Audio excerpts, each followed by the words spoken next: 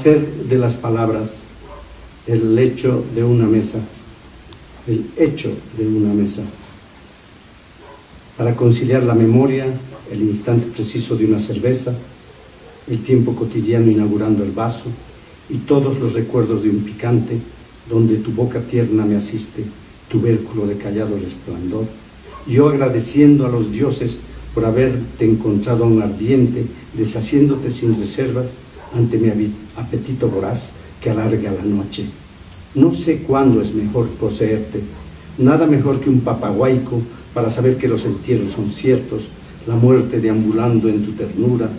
porque me recuerdas mi tumba, mi sagrado rincón, morada, mientras la cerveza ha huido vertical, yo horizontal he fugado.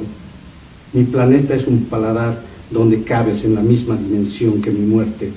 Te traduzco en mi lengua y por ti hallo socavones, diablos danzando en mi pecho, multitudes fugaces, todos volviendo de sí cántaros de chicha en la penumbra, porque te preciso así, en la cerveza quinta, desde mi, arrojo de, de macho cabrío. Soy este locoto solitario deambulando la mesa, el plato, la madrugada.